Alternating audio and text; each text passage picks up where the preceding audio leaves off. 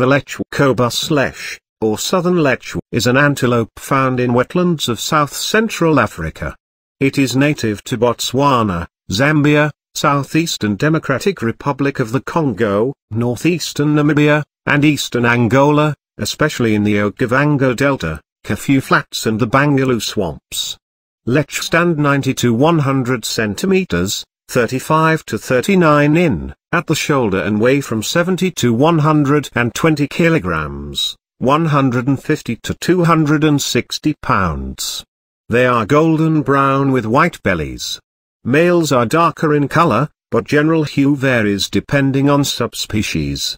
The long, spiral-structured horns are vaguely lyre-shaped, they are found only in males. The hind legs are somewhat longer in proportion than in other antilechois found in marshy areas where they eat aquatic plants. They use the knee-deep water as protection from predators.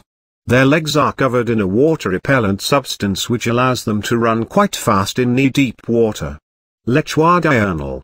They gather in herds which can include many thousands of individuals. Herds are usually all of one sex, but during mating season they mix lopes, to ease long distance running in marshy soil.